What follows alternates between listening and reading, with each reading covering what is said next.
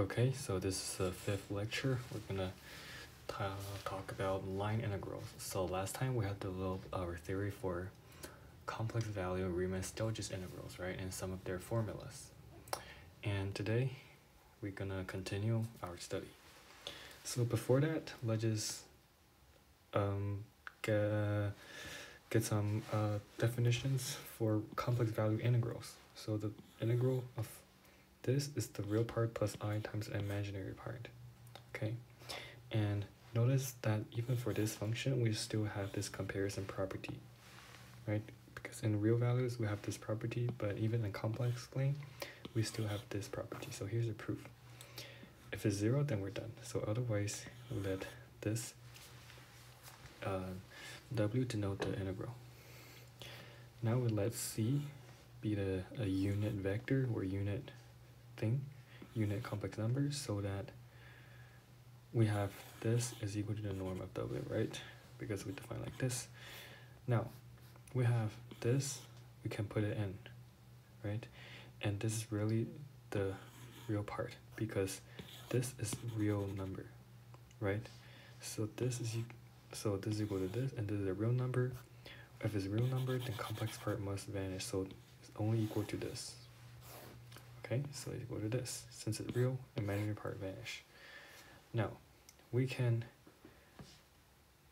use our property for real, um, I mean for, for functions, right? Real part is always, we have this inequality always holds, and this is equal to f because c, the norm of c is just equal to 1.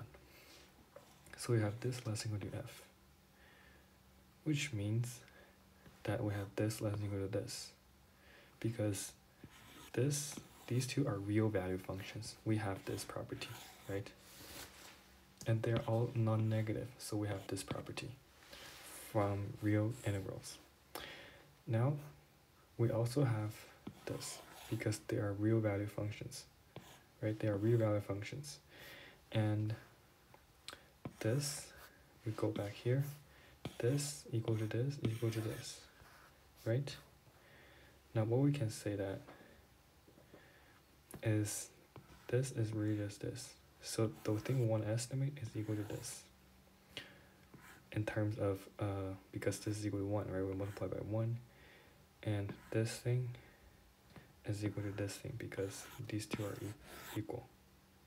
Right? And this thing, which is this thing is less than equal to this thing.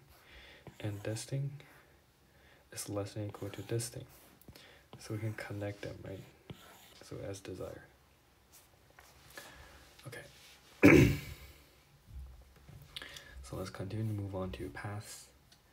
And we let gamma be a path, continuous path, and we let this denote the image set, and we, we call it a trace.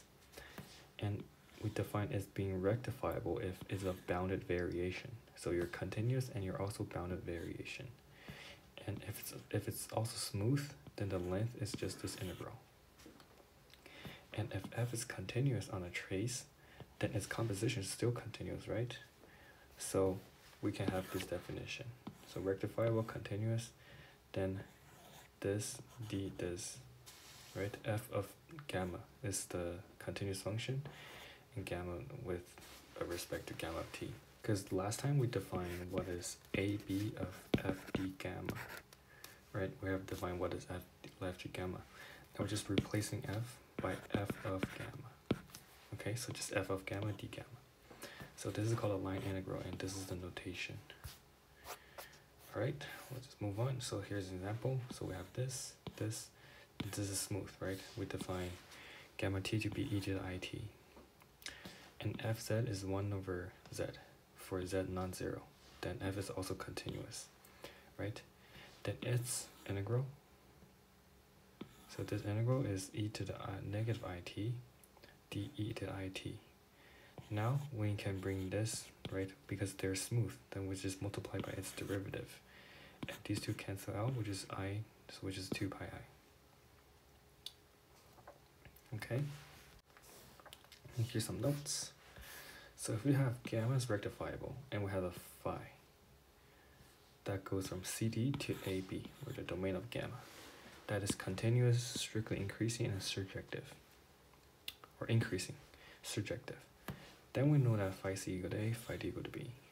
Then gamma, we do the composition, is again a path, right? And we have it, they're having the same trace. Then this is still rectifiable. With gamma rectifiable, then if we compose with phi is still rectifiable because if we're given a partition of C to D, then we have a corresponding partition of A to B, right? So we have this is true, right? It's the upper bound. This is upper bound for all, for all S with the partition of C of D, which means that the total variation, the supremum, right? This is upper bound, the supremum should be less than equal to the upper bound. So if f is continuous on the trace of gamma or the trace of this, they're the same, then this is also defined, right? Because it is rectifiable and you're continuous on a path, then this is still well defined. So here comes uh, to a proposition. Uh, it states that, okay, it states that this, this, continuous non-decreasing. Then for any function continuous on this, we have they are equal to each other. So even though it's well defined and it's equal to each other, so it, it preserves the integral value under reparameterization, right? So here's a proof. Let's get the proof. So first we let let epsilon greater than zero and we pick in delta one such that we have for partition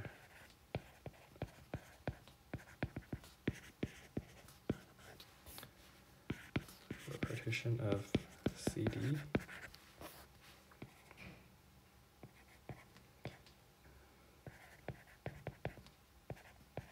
with all length like this and sigma case between them. Such that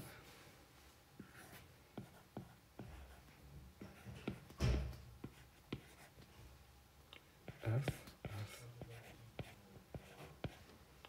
sigma k. Because we know that this integral is well defined, right? Very law. Um, sk subtract by sk minus 1. Right, such that this thing, so we're given the mesh is less than epsilon over 2. And again, we can also pick. Wait, wait. Yeah, okay. Delta 2, positive, such that for any partition of AB, oh. So we're given a partition of AB. So let's make some choice. Hmm. T T1 T partition AB such that actually we should just copy everything. And we just we're just changing stuff. Right? Such that we have. Let me just move this above a bit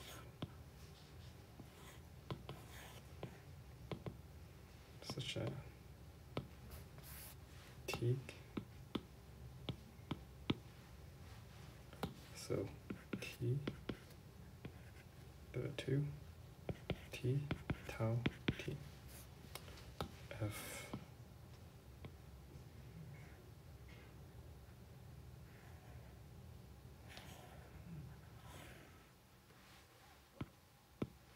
so F minus gamma of tau k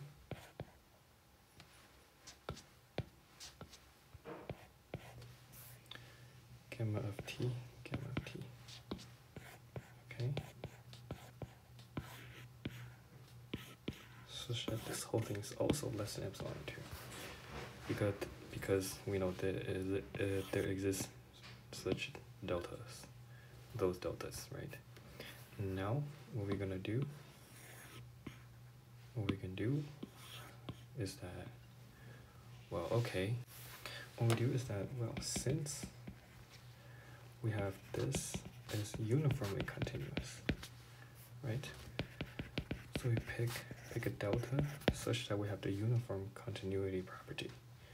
So first we have this true, and we have when s and s prime is less than delta gives its output also differ less than something that is well, here's the delta we want to do. So, if this is less than delta 2, right, then we get something like this. Well, tk is like the output of sk, right? So, we just, if delta is less than delta 1, then this is less than delta 1, right?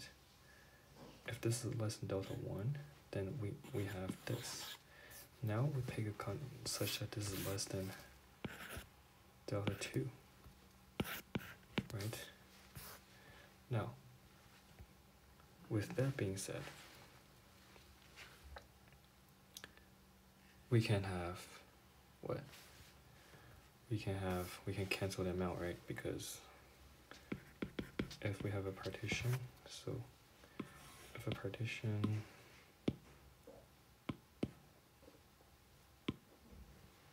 if we have this such that s k is less than delta, which is less than delta 1, right? And define tk as their output, right? This is what we want. Then, then we know that tk minus tk minus 1 less than delta 2, which gives that if we have a sigma case between them, we let tau k be this. Then we know that now with these all these settings, we can see that oh, these two holds at the same time, and these two are equal, right? So like in the absolute value, we subtract this thing with this thing. So this thing cancels out. What we have left is the absolute value of gamma f and the absolute value of f, right? And then we use the triangle inequality, right? Which is what less than equal to this plus this, right? This plus this, and these all these two which is less than epsilon. Now we just let epsilon goes to zero and we got the desired, right, as desired. So, so here's another definition. If sigma is a path and gamma is also a path, they being rectifiable, then sigma is equivalent to gamma if we define equivalence relation so that if there exists a root parameterization, so if there exists a mapping from here to here, continuous strictly increasing such that, okay, yeah, this too, such that sigma is equal to gamma of phi. So it's a change of parameter. Okay, so with this equivalence relation given for all the paths, we have an equivalence class, right? So a curve is an equivalent class of paths. So to understand this, so if we're given a path, right, we can have all different mappings that creates this line, this thing. So for all those paths who creates this, their equivalent class is called a curve. So this is so so like so this is a curve, right? And the trace of curve is the trace of any member of the curve because they're all the same, right? Because they're all the same. And if f is continuous on the curve, the integral of f with respect to the curve is to and with any path of the curve, okay? Because now we have that with this proposition, right? With this proposition, such that blah blah blah, right? We have these two. Then we have they're equal to each other, right? If this if this is equal to some sigma, then f the integral of f with respect to any element from the curve are all the same, right? If if sigma is equal to some this, right? Because now non-decreasing, strictly increasing implies non-decreasing, okay? Because in the book it marks that equivalence a collection of regular functions, each member of equivalent has the same trace and so the integral on the function is going to the trace the same for each path of the classes. But we should define because if this for some phi above, but it is not an equivalence relation. The equivalence relation requires that strictly increasing. Okay, strictly increasing is what we want. Okay. So, and we define a curve is smooth if and only if some representative is smooth. So the curve is just smooth. Okay. So here we give more definition. We let gamma be a rectifiable path, and we define this function. So this is the total variation of gamma from a to t, right? a to t, the partition from a to t. Now obviously it's increasing, so it's a bounded variation. So for f continuous this, we define this integral to, to be equal to this. Well, his definition, like, is kind of weird, okay? So, f is a rectifiable curve, we define negative gamma to be gamma of negative t for t from negative b to negative a. And gamma plus c is gamma t plus c. So here is a proposition that is left as an exercise. So I'll be proof A and C, but not like I'll just walk through it. And for this, I will not prove this, but I will prove this, I will prove this inequality, right? Okay. Because that, that inequality is more important. So for A, okay, let's just say this is gamma A. This is gamma B. Then, with the same thing, with the same exact same thing, we have this is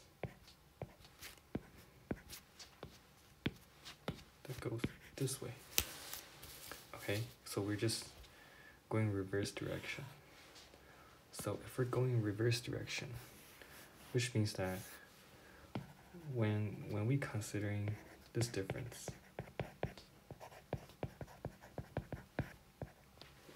right the difference here and the difference here like with the give with if we're giving a same partition right this difference and the difference here they're opposite of each other right because this is this one subtract this one but now is is this one subtract this one. So they're opposite of each other. Well, if they're opposite of each other, then they're sum. So they're like some sum in form of this. They're sum in form of this. This part will be opposite of each other. The f won't change. Like they it will be opposite of each other because this thing they're opposite. So we can just we can just opposite and we can get something like gamma f plus right? This is always less than epsilon so so we have the desired inequality okay? And for C for C like okay you're you're adding then you're shifting right? Because okay, if you're adding, then this sum, like you have plus c and here minus something plus c, so you're plus c and, and you subtract c. So this thing won't change anything, but here, because this is gamma tau plus c, so you really want to shift back get the same sum. Okay, so so c is also good. Now for b, I'll prove b. So recall that we have a, comparison property for complex value integrals, right? Which is b f of gamma B gamma. Okay, this is true for any Stieltjes integral, complex Stieltjes integral.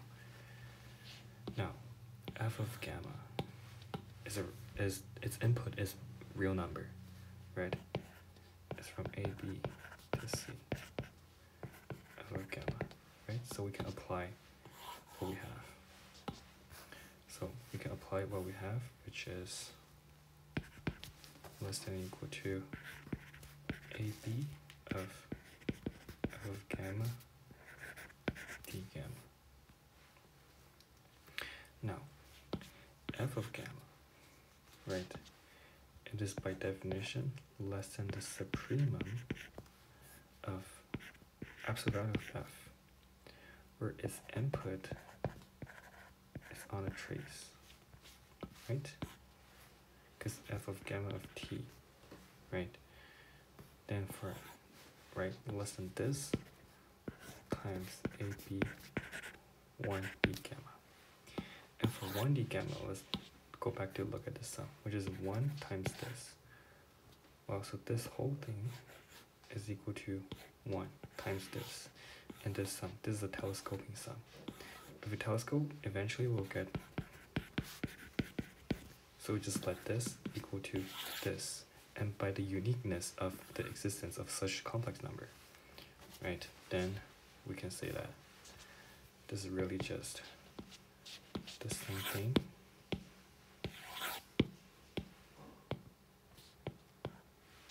multiplied by what?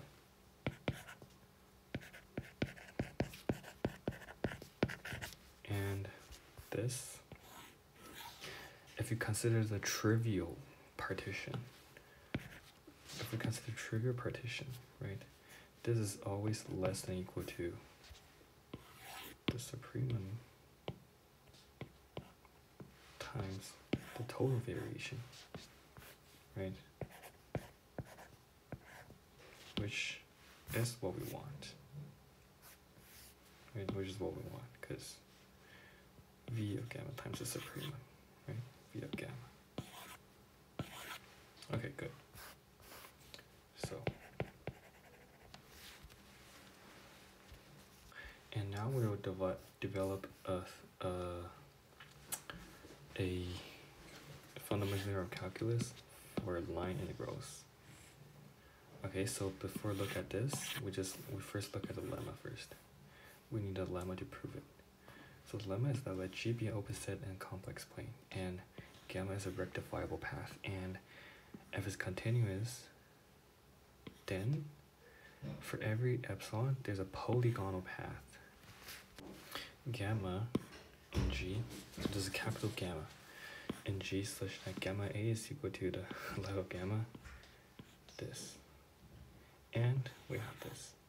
So there exists a polygonal path such that these two are true, and we have this. So to prove this, we need to develop some theory first. Okay? So for non-empty sets, we define the distance between two sets as the infimum of DAB. And the distance of x with b is the element as the infimum of this. Okay? So here we have a proposition first. dx is 0 if and only if it's in the closure.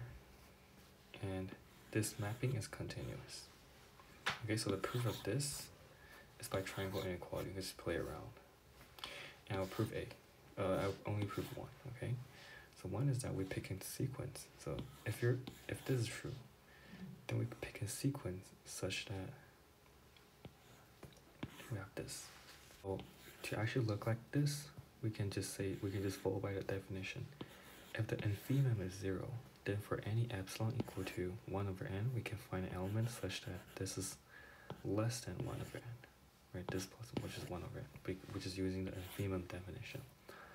Well, with if this is chosen, then we know that this series, I mean, this limit goes to 0, right? If this limit goes to 0, then we can we can say that, oh, x is in the closure because for any epsilon neighborhood, our Archimedean property, Right, our Archimedean property, we can pick at 1 over n, such that it's less than epsilon. So we are never getting empty intersections, which means that you're in a closure. Now, if you're in a closure, if you're in A, then it's automatically 0, no matter what. And if you're not in A, again, because you are in a closure, we can pick this. Then this is the infimum of this, which is 0 is equal to zero because we have this. And again, by Archimedean property, if our infimum is non-zero, we can pick one over n that's less than this, which is a contradiction. So we have this. Okay, now here's a theorem. So AB is non-empty disjoint sets with one enclosed and one another one is compact. Then their distance must be positive.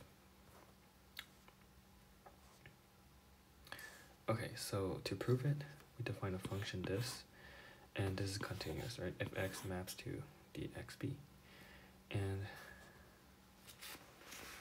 and I messed up, which is fb is compact, right? So by extreme value theorem, we can pick a point b and b such that such that for any fb prime,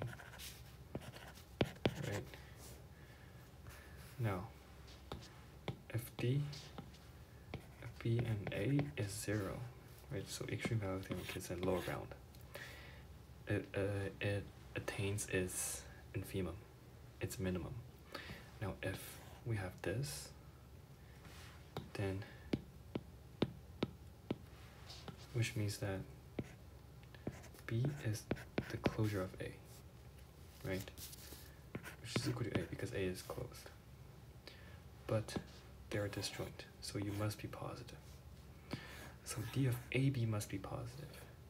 Now for any d alpha and beta for alpha and A, beta and B, we have this is greater than this, right? Because for any beta and any alpha, you're always greater than infimum by definition.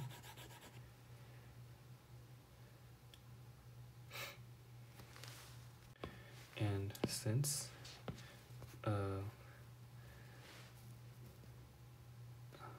since b is the minimum, right?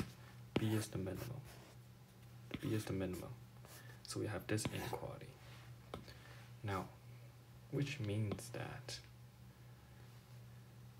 this is a lower bound for all such distance, right? So if you're infimum, you're the greatest lower bound as desired. Okay, so let's just prove the lemma first.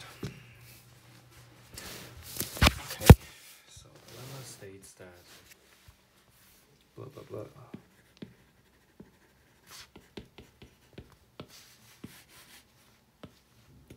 Okay, let's begin our proof. So, case. Maybe maybe this color. Case one. So G is an open disk okay. So G is an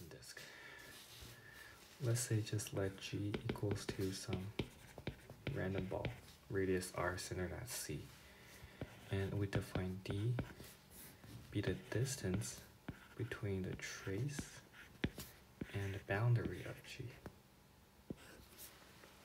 Now it is uh, positive because this is compact and this is closed. Well, you're just considering if you're given a disk and its boundary is just this by definition, right? And if you consider its complement, which is everything here and everything outside, which is clearly open, right? So it is closed. Then we know that their distance is positive.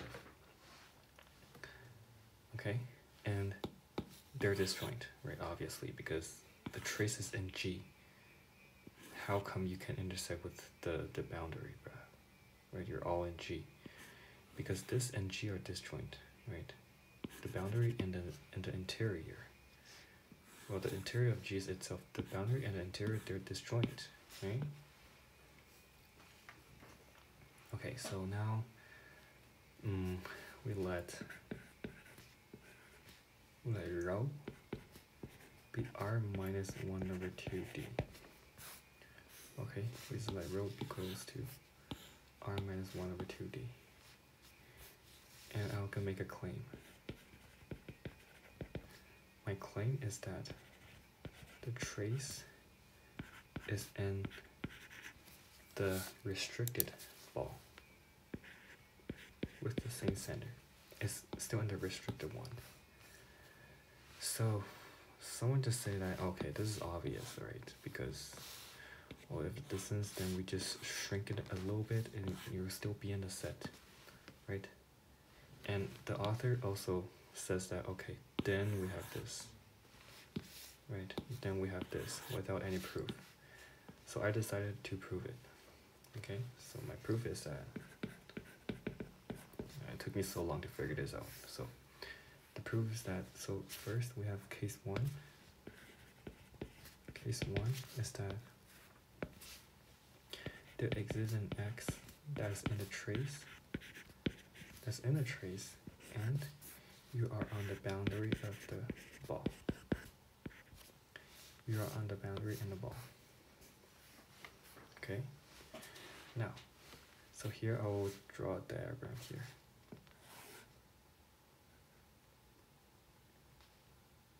And another one, another one, maybe another one, so that they're on the same center, having the same center. So here's the center of the ball. Now we pick this point and this point, okay? So let's see, this is x.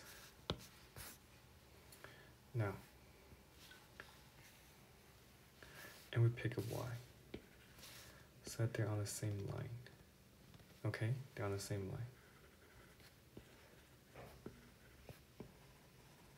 Okay, so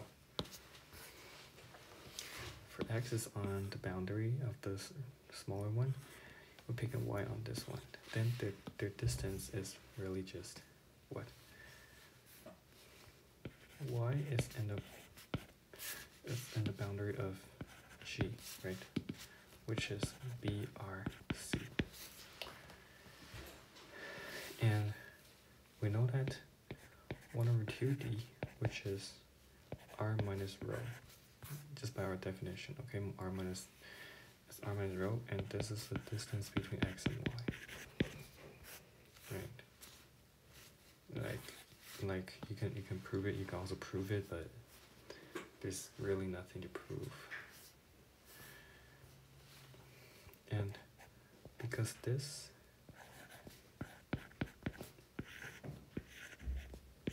right because y is in the boundary then we have this inequality holds and this is greater than equal to d right because x is in the trace we know that for anything in the trace we have this, right? So we have 1 over 2d is greater than equal to d, which gives a contradiction. Okay, so the second case is that the case 2 is that there exists an x that is in the trace and but not on not in the ball and also is not in the boundary okay so it's not on the ball in the boundary. So think about there's an x that lies completely outside the ball. Okay, not even on the boundaries, even outside of the boundary, but still inside this ball.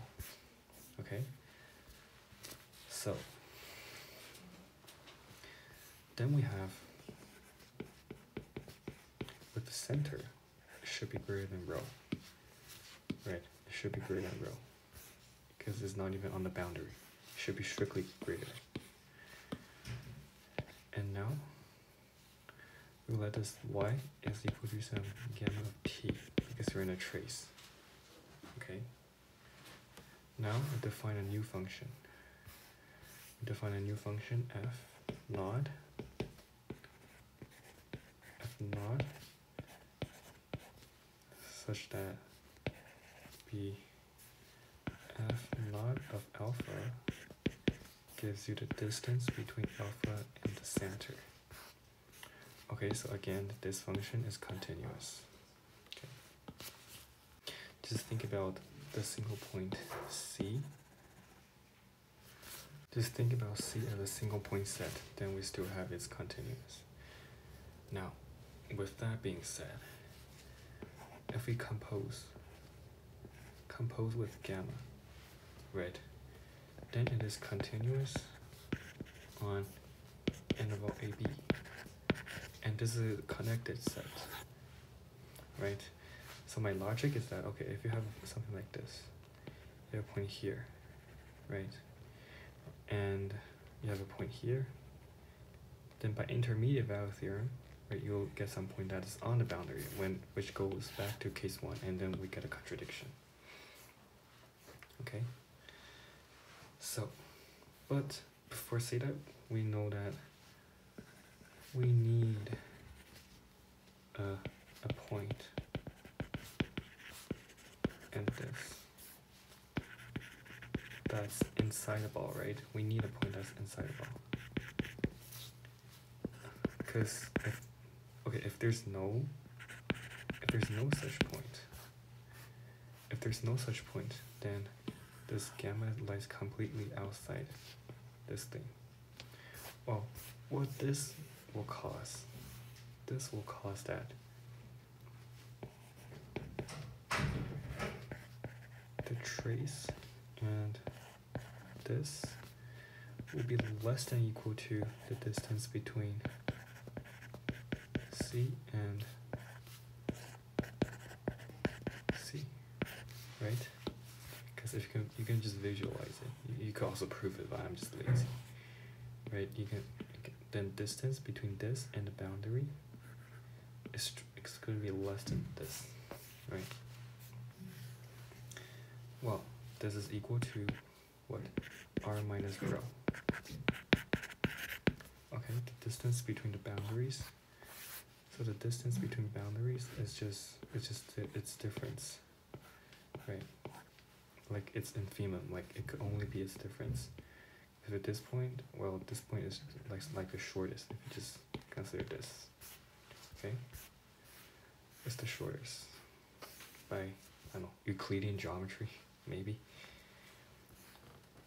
So, with that being said,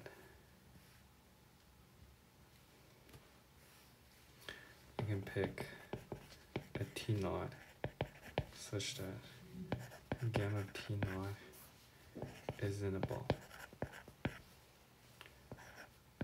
Is in the ball. So, what we have now, what we now have, so this is in the ball. And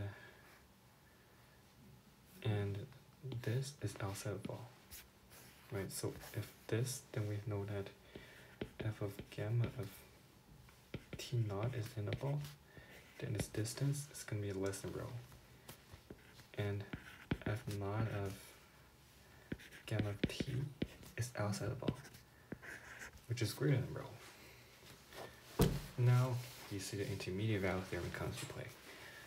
So the intermediate value theorem gives given t prime such that f naught of gamma t prime is equal to rho. Right, because we're mapping it to we're mapping it to R, which is a ordered ordered field. We have an ordered topology, right? And we go back to case one. By case one, we get a contradiction. Okay. So which means that no matter what, all your points should be in the ball. Okay. Now, okay, so so we have finished our claim. Okay, so what is the point of this? Then we know that f is continuous on this smaller ball and its closure because it is contained in G, right? Well, this is a closed and bounded set, which means that f is uniformly continuous, right? So here is that, okay, if your f is defined on G, then there's a smaller ball such that f is uniformly continuous on G. So why don't let's just at the beginning assume that f is on something bigger and then we have to shrink it and f is contain uniformly continuous. Right, so without loss of generality, let f be uniformly continuous on G.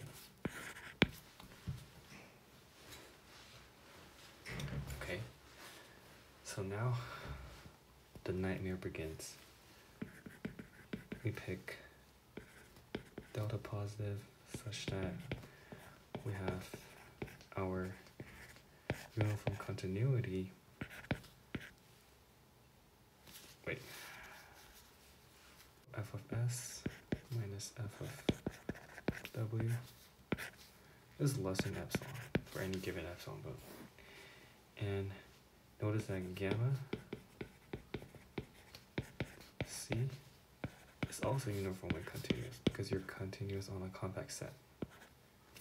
Continuous, uniformly continuous. So there exists a partition. Exists a partition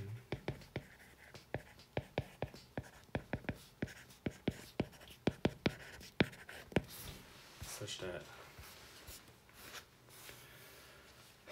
such that first we have gamma s minus gamma t the distance is less than delta over 2 whenever s and t are in each subinterval. So this is the first one. And the second thing is that we have the what? Let me just okay. Let me just go upstairs. Uh, such that this um,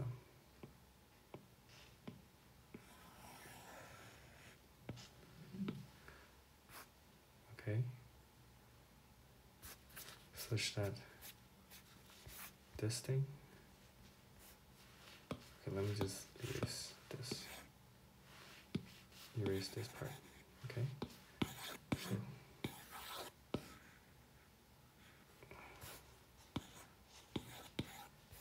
right, we're gonna have something like this. Uh, maybe a bit smaller. Right, we're gonna have something like this. It's less than so just say just epsilon, okay? We don't it's less than epsilon. Okay. For for as usual, tau k between them. Okay, so this is possible, right? Because okay, we're using this con continuity, and we're using we're using continuity. There exists delta such that whenever st is close, like this partition, like with mesh less than some mystery delta such that an ST are this close. So this is the uniform continuity. And this is the, the integral thing, okay? now we're gonna make a something. We're gonna define gamma gamma from AB to C by we're gonna define so gamma of t is tk minus tk plus 1 of tk minus t gamma of tk minus 1 plus t minus tk minus 1 gamma of tk. Okay. So, what is this? So, you can see that this is the line from gamma tk minus 1 to gamma tk is a line, but the length is this. Okay? For, for t and tk minus 1, tk. So, locally is a straight line. It's a straight line from here to here. Locally.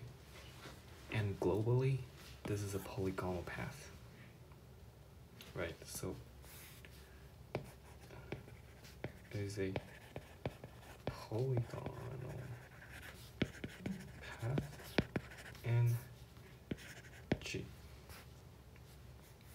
Okay. Now, I'm gonna do some estimation here.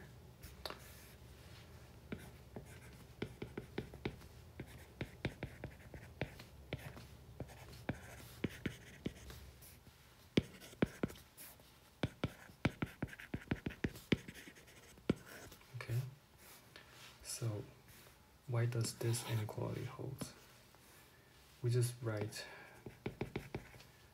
we write gamma tau k is equal to tk minus t pk minus tk minus 1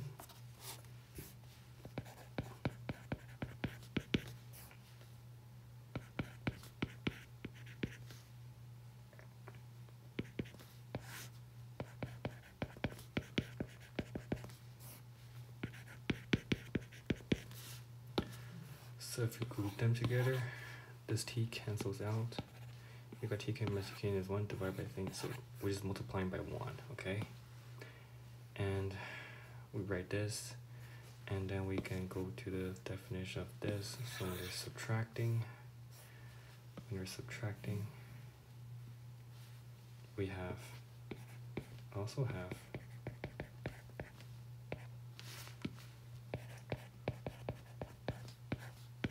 it's less delta over 2 right? Because this is by our given partition. Okay so now then we have f with respect to gamma is just ab of f of gamma t times because it is piecewise smooth right? It's piecewise smooth. You're piecewise smooth. You're, you're a straight line you're just you're piecewisely a straight line you're a polygon. You're a now well this is really just by direct computation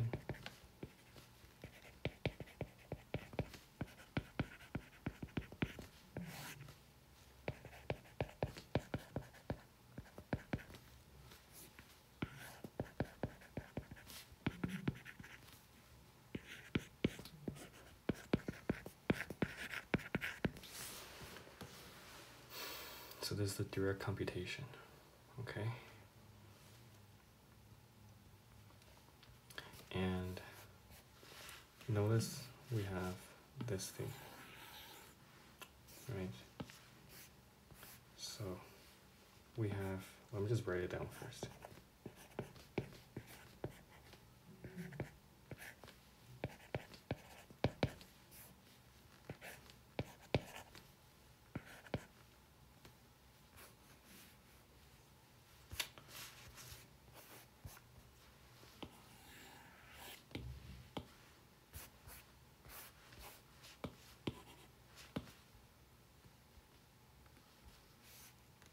this thing? Minus. Okay. So how do you observe this? Well we're using we're using um, okay. So here we used a minus b less than equal to a minus b okay? So this is our this is and we have less than epsilon. So this is our a this is our b. So inside these two cancels out when you're subtracting and this subtract this which is less than epsilon okay? So this is what we used. And here is epsilon plus we can estimate this even further. Of okay so this let me just write it down first okay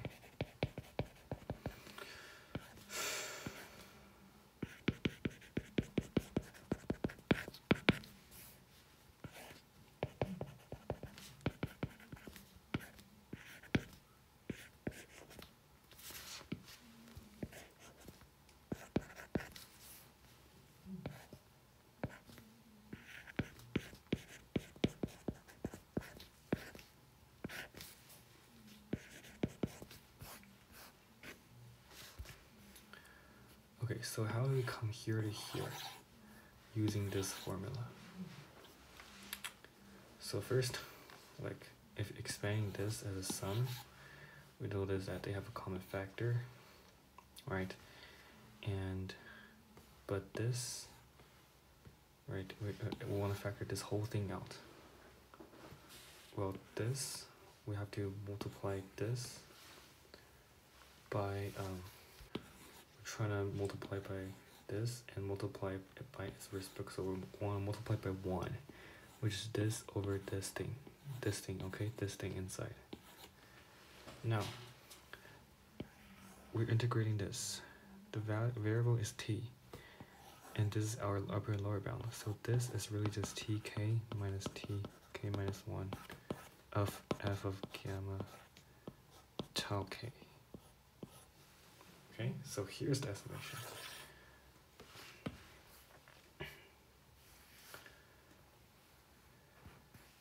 Now, notice that here we have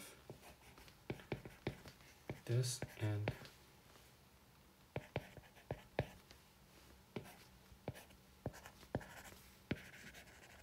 when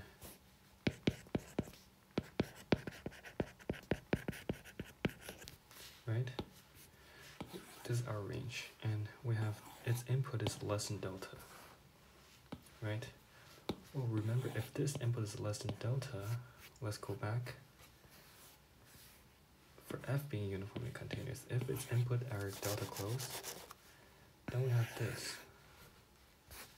right? So this is really just less than this whole thing is just less than equal to epsilon. Right, and I can bring a constant all the way in the front because this is our huge summation. Right? Just epsilon plus epsilon of now with this epsilon left over, the thing inside is just one, and then integrate, you got this thing cancels out, which left only this thing okay, which gives only this left.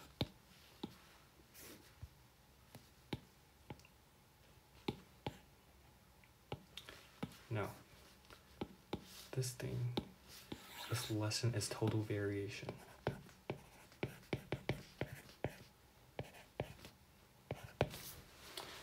And we're done.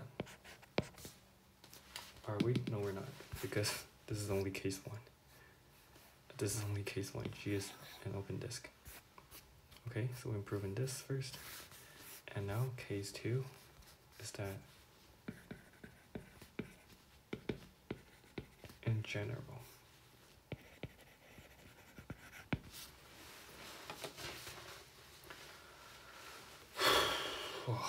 It's a long one. Okay, so now, because this is compact,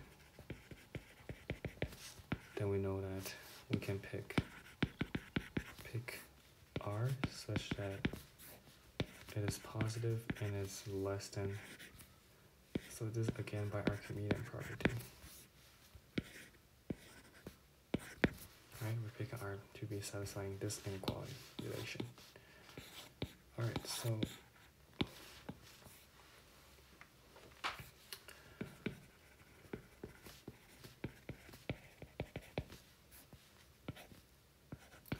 we use the continu a uniform continuity of gamma. Okay.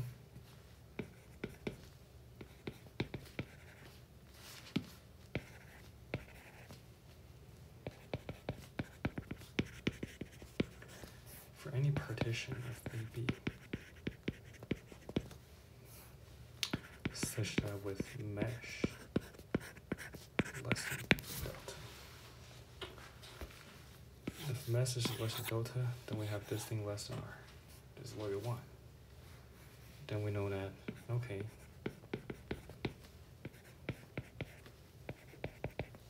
Oh, we have this is less than r, right? Because for t,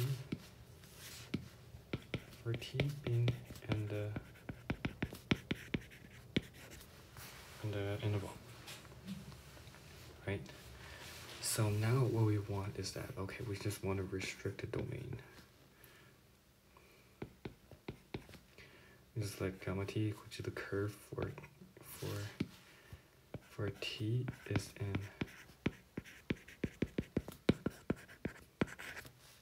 Okay, so this is like the restricting with gamma being restricted domain on here. Okay. Then we know that the trace of this is in what?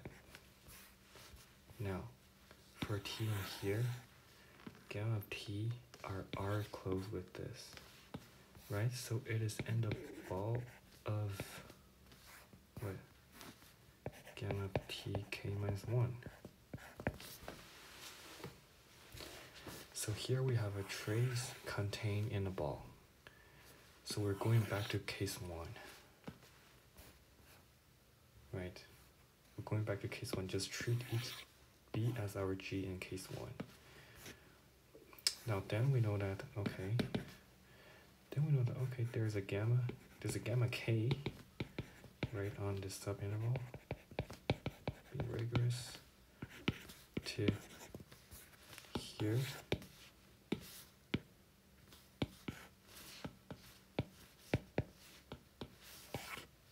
To here.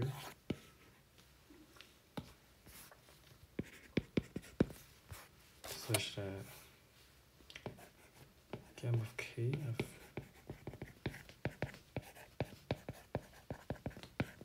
and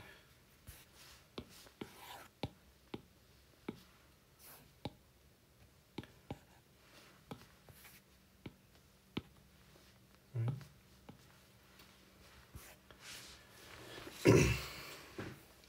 and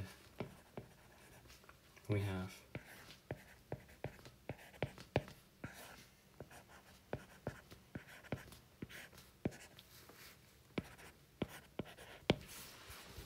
right? We're just using using our result from case one. Now we just define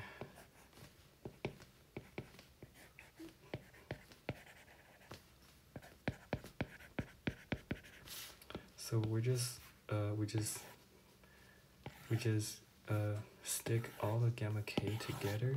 Together we get a big gamma, a new function gamma which is on A to B. Then we know that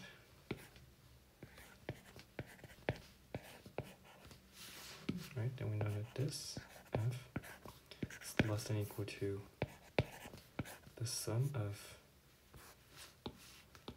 this.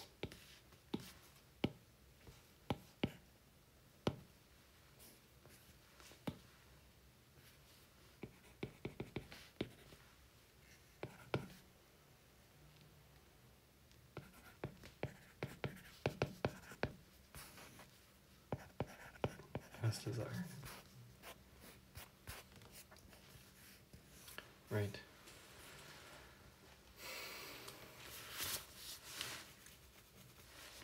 Because now we know that oh this can be ex- expressed as a piecewise integral, and this is also the piecewise integral, right? Because they're rectifiable, they're blah blah blah.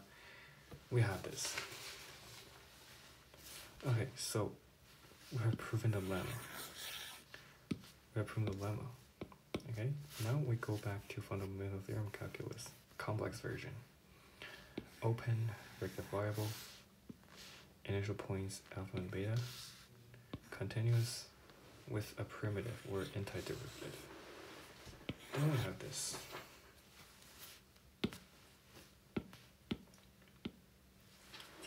Okay, so this is theorem 1.18. So we again, we discuss like cases. Case 1. Gamma is piecewise smooth. Okay, gamma is piecewise smooth. Then gamma if gamma is piecewise smooth, then we know that gamma of f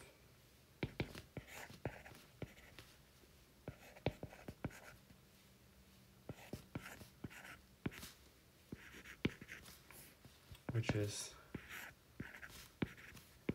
f prime of gamma times gamma prime by chain rule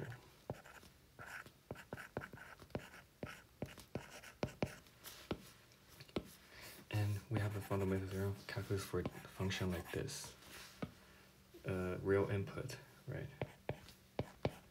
f of beta minus of alpha by fundamental theorem calculus.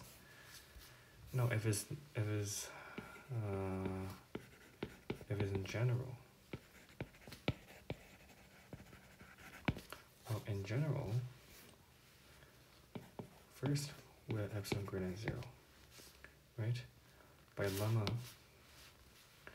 by lemma, for every epsilon greater than zero, we know that there exists a polygon path, polygonal path, right? Pick polygonal, poly from from where to where? From alpha to beta, right? Such that we have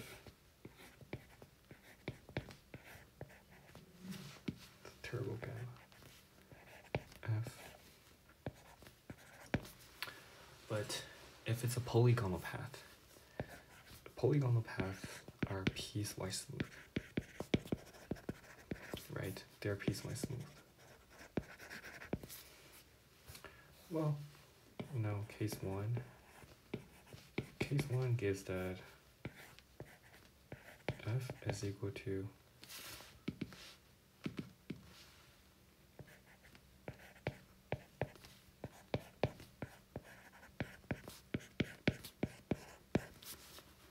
This is my case one. And now we can just substitute this into here. And this is true for any epsilon, so this and this are epsilon close as desired. Okay. So this is perfect. And now we have a corollary. So a corollary of a curve is a closed curve if gamma A is equal to gamma B. So it's like closed. Okay? Then if I have the same hypothesis, if a closed curve, then its line integral vanishes because because of it's equal to zero, right? Because the same beta is equal to alpha. Okay. So this concludes uh, the this lecture. Okay, thank you guys.